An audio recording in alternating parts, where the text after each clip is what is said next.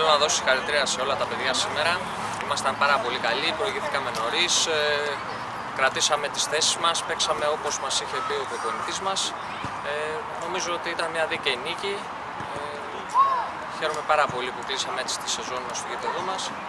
Ε, εύχομαι και το καινούργιο έτος να πάμε εξίσου καλά για να ευτυχίσουμε να πάρουμε το πρωτάθλημα.